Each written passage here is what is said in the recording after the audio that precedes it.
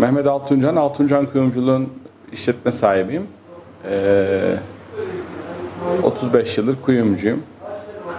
Ee, sizlere altınla alakalı bilgilerimle e, paylaşım yapacağım. Ben her zaman iddialı ve ısrarlı olduğum gibi altın yine dünyadaki değerli köşesini koruyan, e, şu anda küçük hareketlerle uykusundan uyanır gibi gözüken ama uykusundan uyanmayan bir yatırım aracı. Geçen hafta ile bu hafta arasında e, küçük e, sinyaller veriyor. İşte ben çıkacağım artık. Bu e, yerimi değiştireceğim diyor. Bu veriler zaten ben her zaman iddia ettiğim gibi işte 9, 10, 11, 12. aylarda bunu göreceğiz demiştim. Yine küçük hareketlerle sinyal veriyor, alım sinyalleri veriyor. Altın e, her zaman dünyada değişmeyen, güvenli liman olarak bir yeri vardır. Alternatif para birimleriyle altına olan hücumu engelleyen gerçek altın yatırımcıları elektronik paralarla e, dünyadaki para dengesinin e, hani e, tabir belki biraz kaba olacak ama gazını almaya çalışıyorlar. Çünkü dünyada belirli bir para birimi limitlenmiştir. 100 trilyon dolar civarında nakit akışı vardır. Bunun üzerine çıkıldığında bütün dünyadaki ekonomik yazılımlar ve e, hesaplamalar şaşıracağı için yeni bir para basamıyorlar.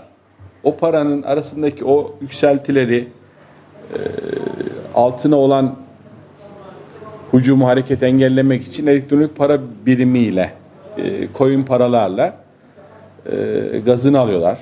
Aslında eğer bugünlerde işte e, gördüğünüz işte bildiğiniz takip ettiğiniz coin paralar olmasa idi altının benim hesaplamalarım ve altına olan e, değerlendirmemde 5000 dolarların üzerinde olacaktı ons. Şu anda 1750 ile 1800 dolar arasında gidiyor geliyor. Ama bu demek değildir ki altın bu şekilde takip edecek. Altın her zaman yerini dediğim gibi koruyacak, yükselecek.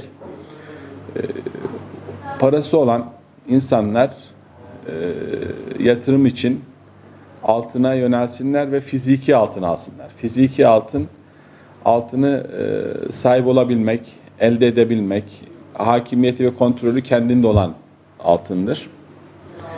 E, dünyada e, coğrafi dengeler, işte e, ülkeler içindeki seçimler veya kararlar doların diğer para birimleri karşısında e,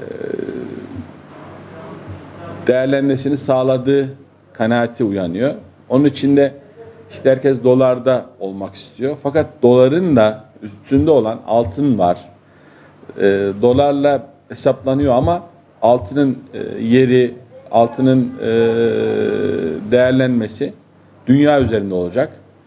Şu günlerde işte e, malum iş piyasadaki dolar hareketi insanlara dolara karşı yönelme gösteriyor ama doların üstünde olan altının yükseldiğini, dolara karşı ve diğer para birimlerine karşı yükseldiğini göreceksiniz. Ee, ben her zaman şunu diyorum.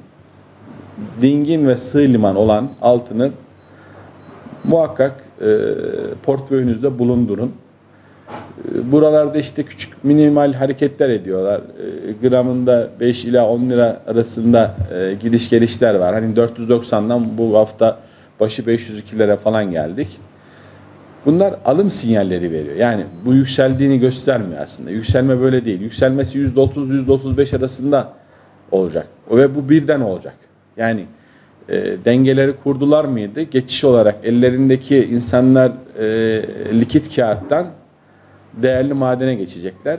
O, o hücumda aman diyeceksiniz ama yükselmişken alacaksınız. Ortada bir yerde yakalayacaksınız. Hiç değilse şu anda dingin halindeyken e, alınabilirken alıp %30-%35 karlara erişmenizi tavsiye ederim.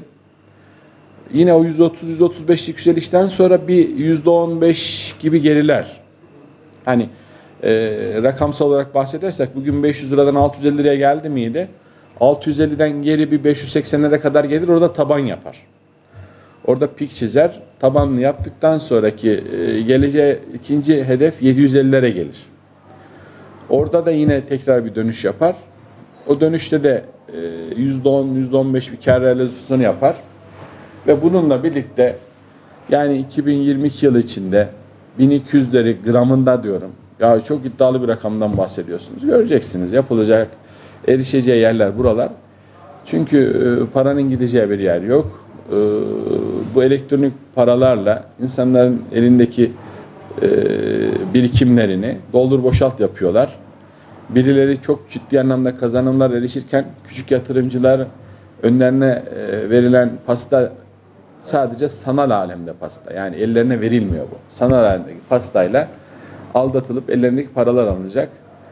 Ee, özellikle küçük yatırımcılara diyorum. Güvenli liman olan altında durun. Altın alın elinizde olsun. Hoca Nasrettin öyle demiş. Ee, ne yapıyorsunuz hocam deyince yemek yerken çıkarmış sakızı burnunun ucuna yapıştırmış. Hocam ne yapıyorsunuz? Malım gözümün önünde olsun demiş. Malınız gözünüzün önünde ve sizin kontrolünüzde olsun. Ee, hayırlı, sağlıklı ömürler diliyorum. Ee, hakkınızda hayırlı olan güzel kazançlarla, mutlu, huzurlu yaşamınıza devamınızı talep ediyorum, diliyorum. Allah'a emanet olun.